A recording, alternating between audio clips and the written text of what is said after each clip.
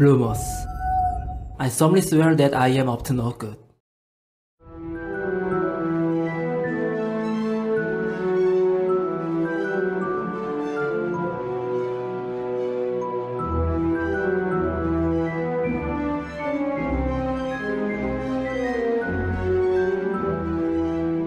안녕하세요 여러분 세케맨더입니다 아, 얼굴 비추는 게 너무 오랜만이죠 아마 채널 이름 바뀐 이후로는 처음일 거예요 아마 아직도 많은 분들이 저를 비둘기 사촌으로 기억하고 계시는 분들이 많으신데 어, 이거 분명히 말씀드릴게요. 저는 더 이상 비둘기 사촌이 아닙니다. 앞으로 세케맨더라고 불러주시면 되겠습니다. 아 비사까진 가능. 오케이. 원래 개인적인 원래 좀 개인적인 이유와 유튜브 계획이 있어서 그 얼굴을 안 비춘 거였는데 어 요번 내용은 제가 얼굴을 좀 비추고 좀 당당하게 말을 해야 될 것 같아서 그냥 예, 그 계획을 잠시 깨기로 했습니다.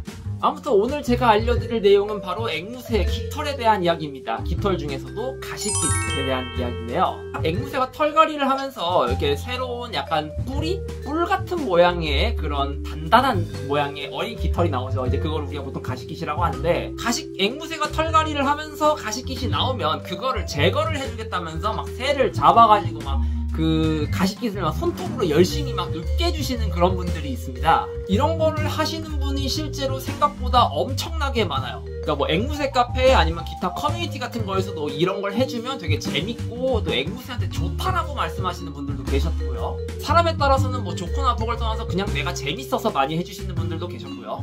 근데 믿을 수 없겠지만 사실을 부정하고 싶으시겠지만 이게 사실 앵무새를 관리하는 과정에서 절대로 하면 안 되는 행동이라고 꼭 말씀을 드리고 싶었어요. 네, 오늘은 그게 왜 해로운지에 대해서 알려드리려고 합니다. 자 그러면 바로 시작하겠습니다.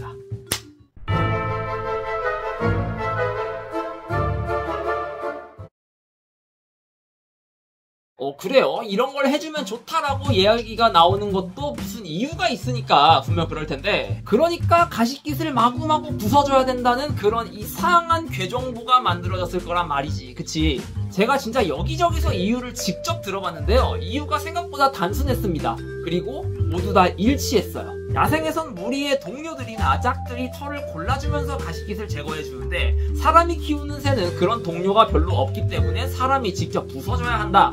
오 진짜 100이면 100 다 그렇게 말씀하시더라고요. 아니 근데 잠깐만 이건 생리적인 이유가 아니잖아. 그러니까 이 털이라는 게 이 몸에서 자라나오는 거기 때문에 이유가 적어도 이런 생리적인 현상과 관련이 있거나 또는 그런 게 어느 정도 언급이 되어야 하지 않을까라고 생각을 했는데 이 주장은 생리학적인 근거가 아니라 그냥 생태학적인 근거라고 봐야겠죠.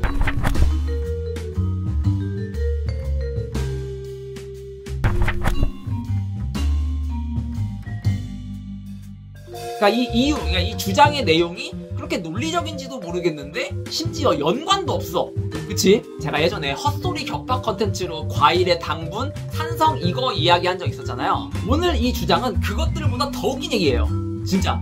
제가 진짜 소신 발언하건데 이렇게 말하는 사람은 지금 앵무새가 문제가 아닙니다. 조류 그러니까 새라는 동물에 대해서 이해도가 전혀 없는 사람들이라고 보는 게 맞습니다. 자 제가 왜 이렇게 말을 하냐면 앵무새는 무리 생활을 하는 동물이라서 아까 말했던 것처럼 뭐 동료들이 가시깃 빨대깃을 제거해 줄 수 있을지는 모르죠. 그럼 반대로 새 중에는 단독 생활을 하는 동 종류도 많단 말이에요. 대표적인 게 뭐 독수리나 매 같은 애들이 그렇고 뭐 올빼미, 꿩 같은 애들도 단독 생활을 하는 종류예요. 심지어는 앵무새 종류 중에도 단독 생활을 하는 종류가 있습니다. 누가 털을 대신 골라주거나 할 수가 없습니다. 홀로 다니는 애들이기 때문에. 하지만 그럼에도 스스로도 털 관리를 잘하고 누구의 도움도 딱히 필요하지 않아요. 그럼에도 털을 가식깃 범벅 없이 깔끔한 털을 항상 유지하고 있죠. 야생에서도 그렇고 실제로 사람이 키우는 경우도 그렇고 그리고 또 하나는 부리가 굽어 있고 또 부리 자체가 단단한 재질이에요. 또 치약 여기가 턱의 힘도 세가지고 가식깃을 그렇게 부수는 게 가능합니다. 근데 새 중에는 부리가 반듯하고 심지어 말랑말랑하고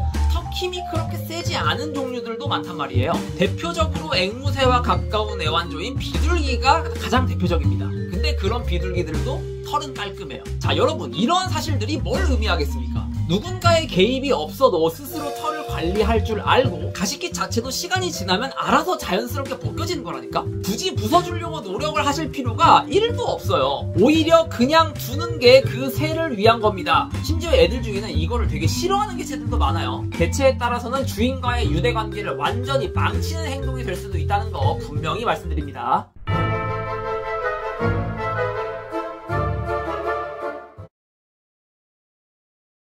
이게 단순히 할 필요가 없는 정도가 아니고 본인이 정말로 새를 사랑하고 새라는 동물의 생리를 이해하며 무엇보다 내 새가 정말 비주얼적으로 예쁘게 자라시기를 원하신다면 가식깃을 부수는 행동은 오히려 절대 안 하는 것이 맞습니다. 자 확실한 이유가 있어요. 자이 새의 깃털은 사람의 털, 포유류의 털보다 훨씬 더 복잡한 구조로 이루어져 있습니다. 그냥 딱 봐도 그래 보이죠. 근데 이게 내부를 들여다보면 우리가 상상도 못할 수준의 구조들이 더 더 더 남아있단 말이에요. 미세하게.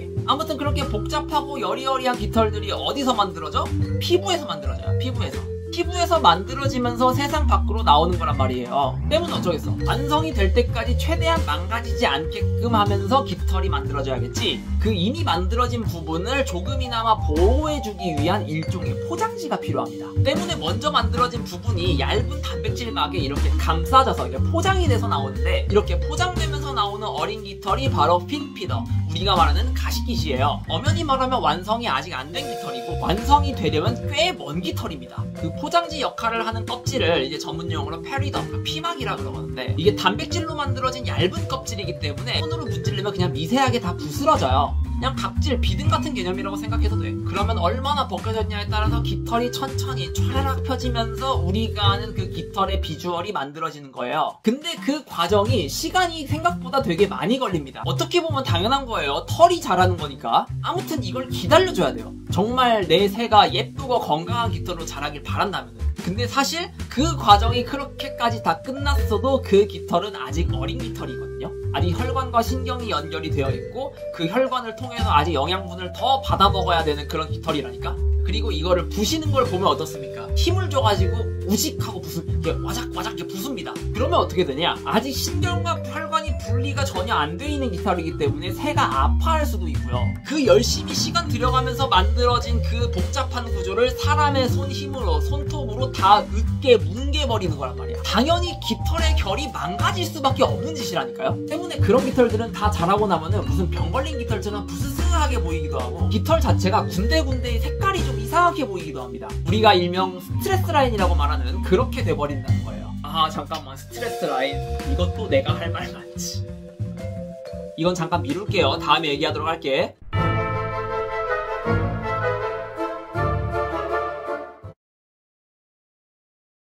본인은 본인대로 체력 다 날려먹고 새는 새대로 스트레스를 받고 털은 깃털대로 다 망쳐놓습니다. 주시는 과정에서 새가 되게 아파할 수도 있고요. 따라서 애써 쌓아놓은 교감이 무너질 가능성도 보일 수 있습니다. 그러니까 이게 뭔 생쇼냐고 이게. 차라리 그냥 두든가. 네, 이쯤 되면 여기서 이제 이런 말씀 나오 하고 싶으실 겁니다. 그래서 그러면 어떻게 해야 하나요? 방법은 딱 하나입니다. 이 영상의 결론이라고 할 수 있죠. 가시깃 건드리지 말라는 거예요. 그냥 올바르게 성장할 수 있도록 그냥 가만히 냅둬 주세요. 차라리 깃털 자라는데 도움 도움되라고 좀 맛있는 거, 몸에 좋은 거를 그냥 많이 챙겨주시고 새가 깃털을 관리하겠다고 여기저기 깃털을 좀 쪼고 할 텐데요. 어, 그런 것까지 막으실 거는 없습니다. 네가 하지 말라는 거야, 네가. 평소대로 키울 거 키우고 놀고 놀아주시되 가식kit만 안 건드리면 끝납니다. 그러면 걱정 없어요. 끝.